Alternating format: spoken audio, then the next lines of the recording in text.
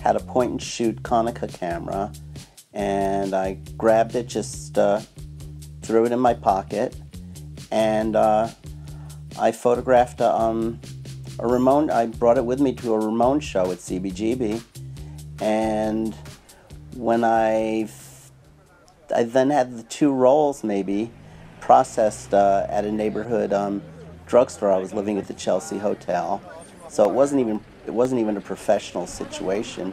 I dropped him off at the drugstore, and I didn't even pick up contact sheets. I picked up snapshots, and uh, and then that was like the beginning, and I didn't realize it was the beginning. It was kind of by fluke, I guess.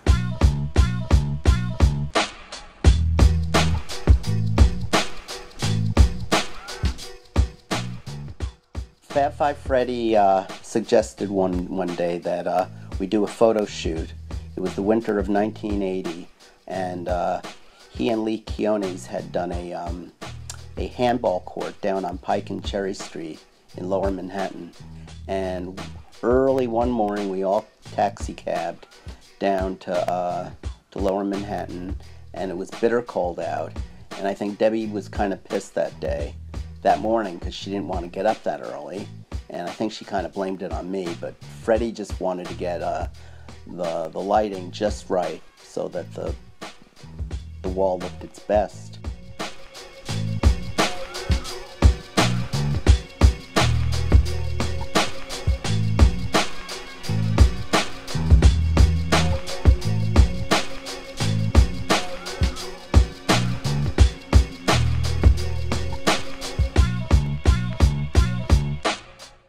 Freddie somehow knew. He seemed to have this prophetic outlook. Fab would say, This is important. He had this intuition. He would look over my photographs and he would say, This is really important. I wasn't sure if he was a dreamer or idealistic, but uh, somehow Fab knew. Then I'd say, Yeah, yeah, Fred, just hand me the joint.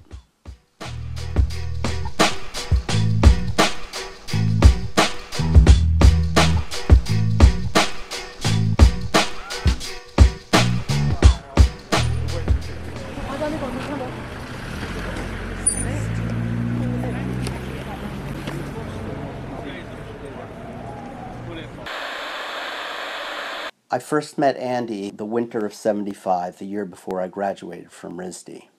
And I met everybody else that worked at the factory at that point. And, uh, and that was the first introduction. He, he advised me to work big. That was, that was what, he, what he had to offer. He was friendly and open. He was down to earth, believe it or not. You know, I was very much a student um, meeting my, uh, you know, my mentor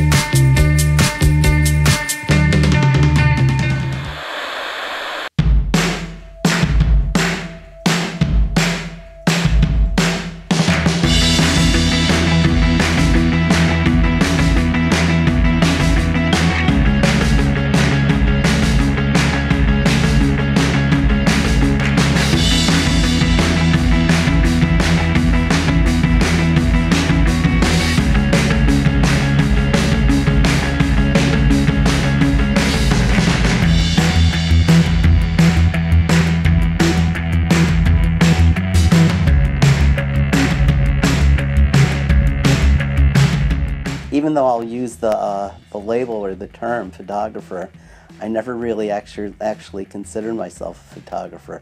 Uh, I'm an artist who picked up a camera, and I won't necessarily correct someone when they say, "Oh, hi, this is photographer Bobby Grossman. He's a great photographer," and I won't correct them or contradict them. But uh, and sometimes I'll repeat the same thing that they they might say, but more often than not, I will say I'm an artist who picked up a camera.